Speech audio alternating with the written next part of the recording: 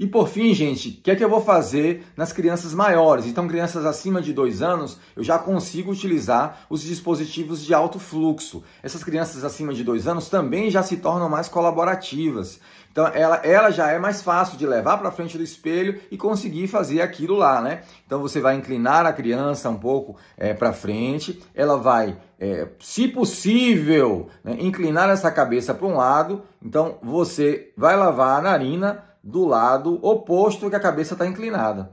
Aí eu inclino para esse lado, eu vou lavar essa narina. Então aqui eu vou é, enchilar suavemente, esse, esse frasco está até com soro aqui, se eu apertar vai sair o soro, e aí eu enchilo suavemente e é, a criança com a boca entreaberta, né, com essa posição aqui de cabeça de lado,